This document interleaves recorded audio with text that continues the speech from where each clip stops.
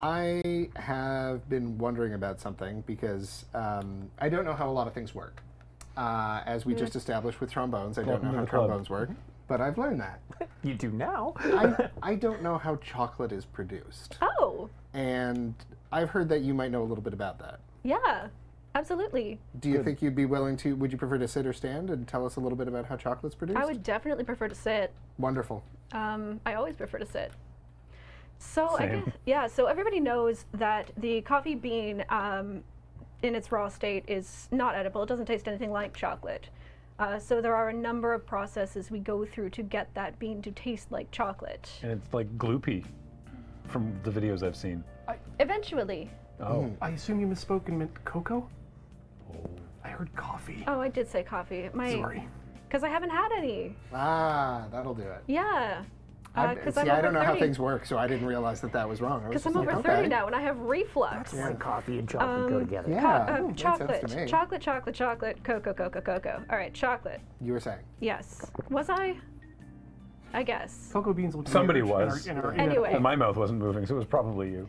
So the cocoa bean in its natural state uh, initially doesn't taste anything like chocolate. We all knew that. We all know we have to make it. We, we have to do things to it to make it taste like chocolate.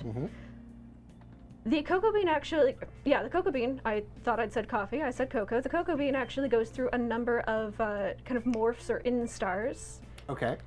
and uh, they they actually go through. They've got a really interesting and complex life cycle. Uh, in the wild, the original cocoa bean egg would be deposited into a water source where Right. it would find its way into uh, usually a variety of freshwater snail. Okay. Uh, yeah. Those are quite common. What? Yeah. Okay. And uh, once it is inside the digestive tract of the snail, that's when it achieves the optimal conditions for it to morph into its second instar. Okay. Uh, Sorry. Gravity Pike says it's cacao before it's been roasted and cocoa afterwards, and that's terrible. and I just love a good reference to uh, Lex Luthor stealing all the hostess fruitcakes. Yeah. Excuse me. So once that instar has matured, it's eventually excreted by the snail into the water. Gross. Okay. This is this is the second instar. Yes. Okay. Yeah, yeah. Um, and then it's in a it's in a free swimming stage.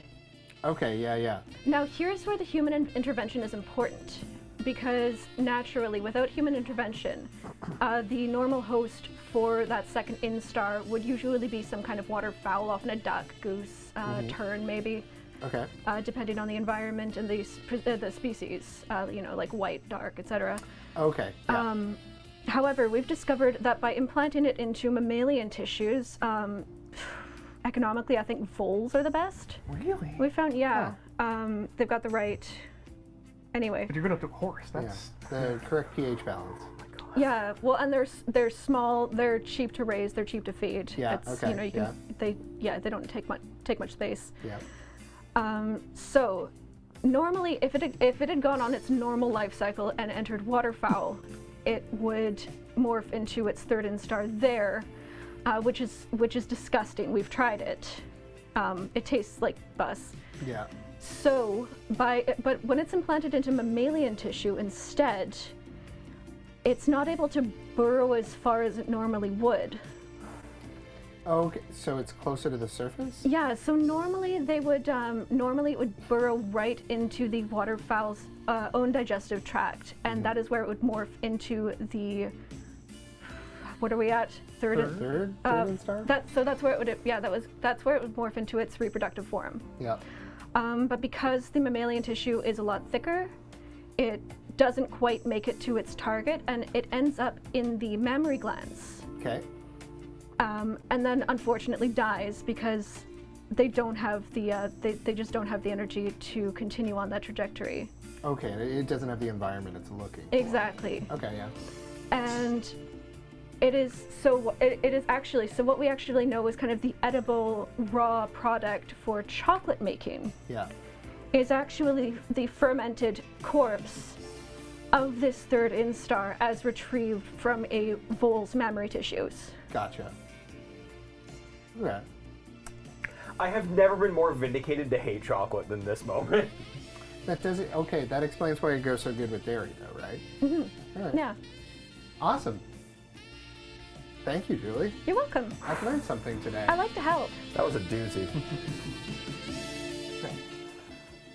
and I am going to mark that challenge as completed uh, because someone wanted Julie to inform everyone how chocolate is produced and to make it as cursed as possible while remaining bus safe. Great work. I have a degree. Amazing. How many mammals have we tried? 640? Okay. But I guess I mean, yeah, I think like it, like most things, it's probably based on economics rather than specifically flavor. Well, now that I've learned how chocolate is made, I want chocolate. I'm literally you just heading do? out to go get myself a piece of chocolate. It sounded delicious. Great. Well, yeah. Have fun. Okay.